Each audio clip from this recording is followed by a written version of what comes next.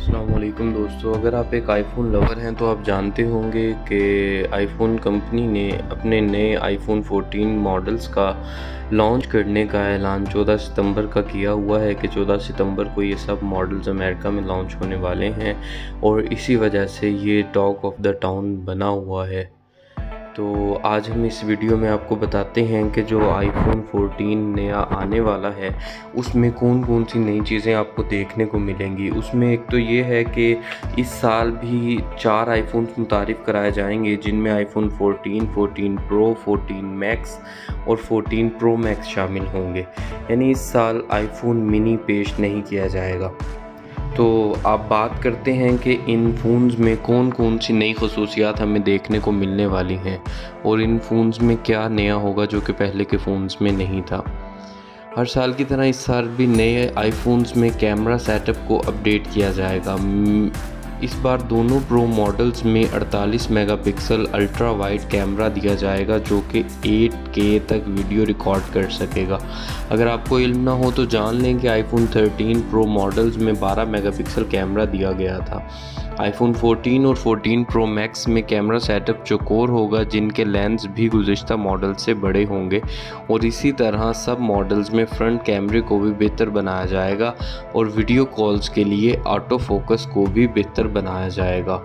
उसके बाद दूसरा फीचर नॉच के बगैर आईफोन 14 प्रो और 14 प्रो मैक्स 2017 के बाद अवलिन आईफोन्स होंगे, जिनमें सेल्फ़ी कैमरे के लिए नॉच डिज़ाइन नहीं दिया जाएगा।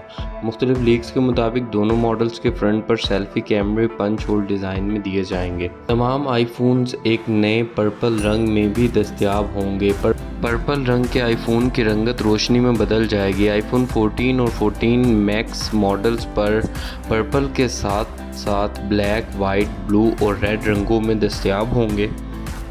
इसी तरह 14 प्रो और 14 प्रो मैक्स पर्पल के साथ साथ गोल्ड, सिल्वर और ग्रेफाइट रंगों में दस्तियाब होंगे।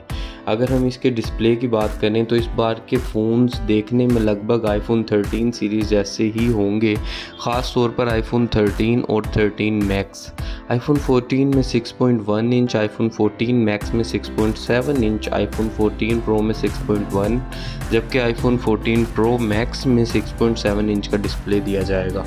इस बार कहा आ, कहा जा रहा है कि अमेरिका में लॉन्च होने वाले आईफोन 14 प्रो में रिवायती सिम कार्ड के लिए स्लॉट नहीं होगी बल्कि उसमें सिर्फ़ ई सिम की ही सपोर्ट दी जाएगी।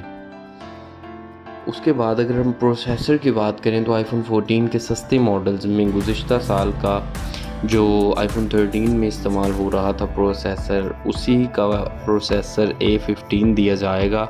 मगर आईफोन 14 प्रो मॉडल्स में ज़्यादा तेज़ रफ्तार और ताकतवर A16 प्रोसेसर दिए जाने का इम्कान है।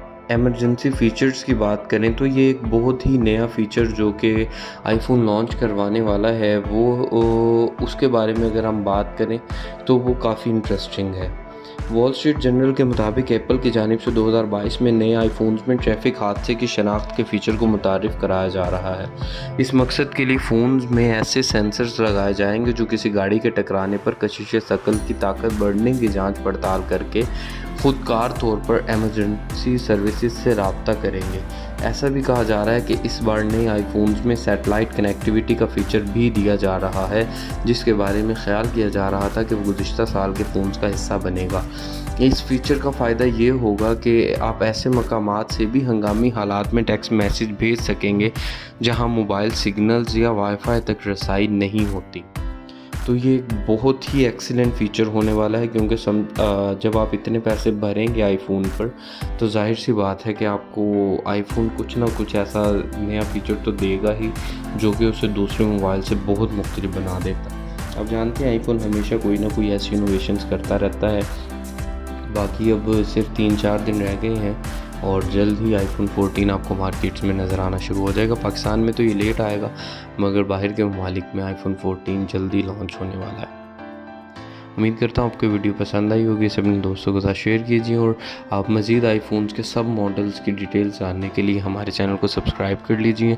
यहाँ हम आपको तमाम मोबाइल्स के बारे में अपडेट करते रहेंगे। बहुत शुक्रिया, अपना ख्याल रखें